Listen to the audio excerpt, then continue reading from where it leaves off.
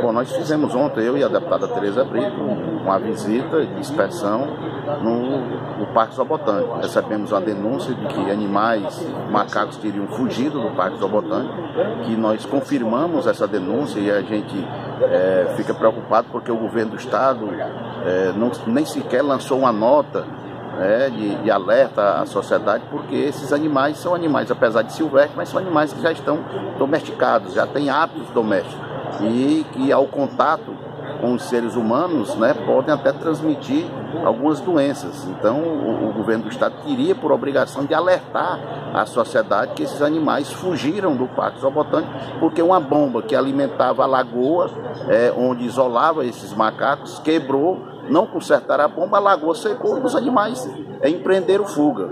Além do mais, nós vimos também o, o, os ambientes onde estão acondicionados os animais em péssimo estado de conservação, faltando a cobertura, já estamos iniciando um período chuvoso e esses animais, grande parte, os papagaios, as araras, vão ficar ao relento.